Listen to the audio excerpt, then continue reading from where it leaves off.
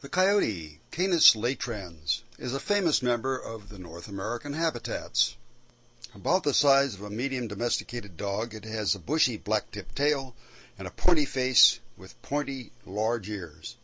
Many attempts have been made to kill them off, as farmers and ranchers see them as pests and a predator on their livestock and chickens.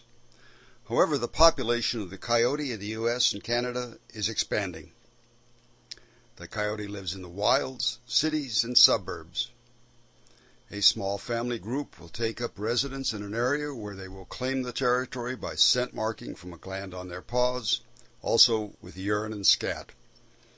They will dig several dens for whelping their young in the area. They do this in case of a threat to the young. Dens are only used for the young. The coyote is an omnivore eating rodents, cactus pads, cucumbers, eggs, and carrion. Inspecting coyote scat on the trail is always interesting because it is so varied because of their diet.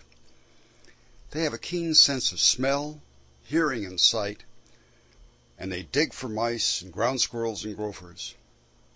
They get into trouble with humans by eating young sheep and cattle as well as house pets in urban areas.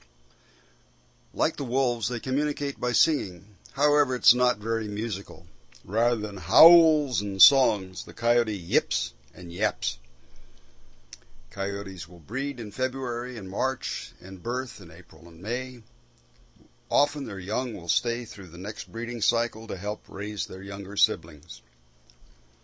In Indian folklore, the coyote is seen as a trickster because it is considered smart, sly, cunning, and secretive.